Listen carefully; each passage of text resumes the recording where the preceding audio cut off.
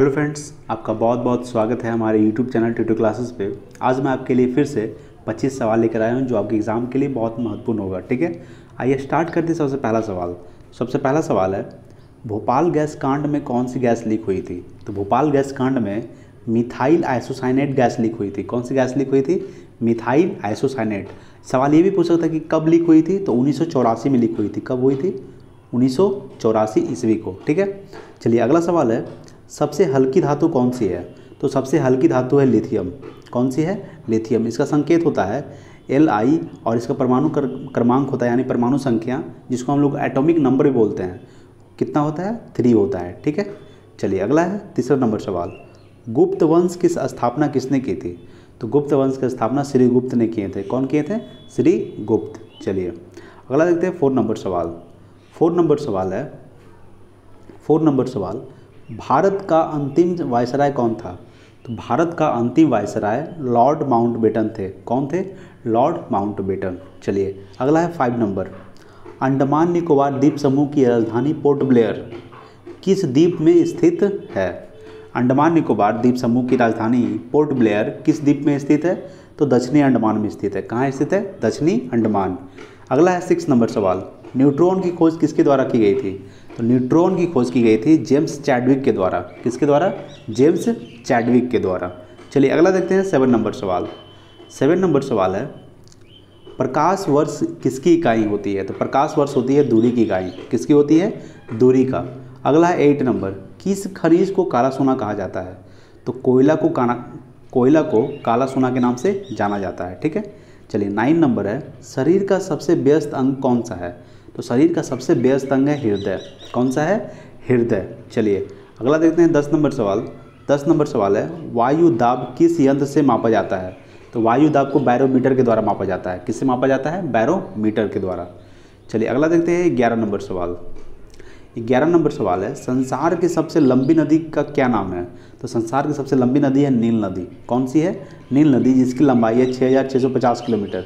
इसकी लंबाई कितना है? छः हज़ार छः सौ पचास किलोमीटर। अगला है बारह नंबर सवाल। अजंता एवं एलोरा की गुफाएँ किस राज्य में स्थित है? तो अजंता एवं एलोरा की गुफाएँ महाराष्ट्र में स्थित है। कहाँ स्थित है? महाराष्ट्र में। अगला है तेरह नंबर सवाल। आगरा शहर की स्थापना किसने की थी? तो आगरा शहर की स्थापना किए थे सिकंदर लोदी ने। किसने किए थे? सिकंदर लोदी ने। चलिए, अगला है चौदह नंबर सवाल। चौदह नंबर सवाल क्या कह रहा है? चौदह नंबर सवाल है, भारत का क्षेत्रफल विश्व के क्षेत्रफल का कितना परसेंट है?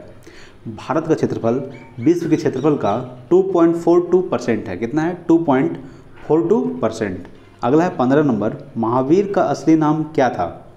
तो महावीर का असली नाम था वर्धमान। क्या था? वर्धमान। सोलह नंबर सवाल है, सबसे कठोर पदार्थ कौन सा है? तो सबसे कठोर पदार्थ हीरा है। क्या है? हीरा। चलिए, अगला देखते हैं सत्रह नंबर सवाल। सत्रह नंबर सवाल है, विद्युत धारा किससे मापी जाती है? तो विद्युत धारा एमीटर से मापी जाती है। किससे मापी जाती है? आ मीटर से। अगला है अठारह नंबर सवाल। लोहे में जंग लगने से उसके भार पर क्या प्रभाव पड़ता है? तो लोहे में जंग लगने से उसके भा, भार में बढ़ जाता है। यानी जब लोहे में जंग लगेगा तो उसका भार क्या होगा? बढ़ जाएगा। ठीक है? चलिए उन्नीस नंबर है। मछली सांस कहाँ से लेती है? तो मछली जो है सांस गिल से लेती है। कहाँ से लेती है? गिल से। चलिए अगला है बीस नंबर सवाल। तो बीस नंबर सवाल है। जल का शुद्ध रूप क्या होता है? तो जल का शुद्ध रूप होता है वर्षा का जल, ठीक है? वर्षा का जल सबसे शुद्ध रूप होता है। इक्कीस नंबर सवाल है, डूरंड कप किस खेल से संबंधित है? तो डूरंड कप फुटबॉल से संबंधित है। किससे संबंधित है? फुटबॉल से। बाईस नंबर है, इटली की मुद्रा का क्या नाम है? तो इटली की मुद्रा का नाम है यूरो। क्या नाम है? यूरो। चलिए, अगला है तेईस नंबर सवाल, ठीक है?